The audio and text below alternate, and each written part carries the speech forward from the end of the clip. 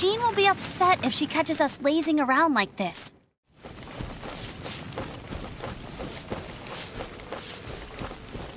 Freya!